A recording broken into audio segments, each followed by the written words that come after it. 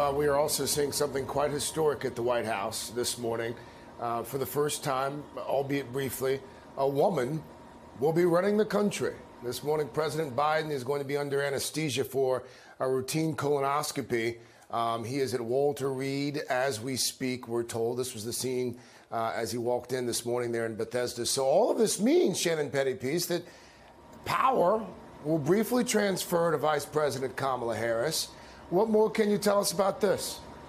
Yeah, and this is an unusual moment, but not unprecedented. We have seen presidents do this in the past, like President George W. Bush was the most recently, where when the president uh, is incapacitated in one form or another, they can temporarily transfer power to the vice president under the 25th Amendment in the Constitution. And that's what we're seeing go on here is a transfer of power from the president to the vice president while President Biden undergoes this colonoscopy where he will be under anesthesia as part of of this routine physical at Walter Reed going on right now. We do expect the president to be back at the White House this afternoon. He has a turkey pardon to attend, uh, so we anticipate seeing him there uh, and potentially hearing some remarks from him uh, following really a milestone day and quite a split screen between uh, this vote in the House and the president having to go his routine physical.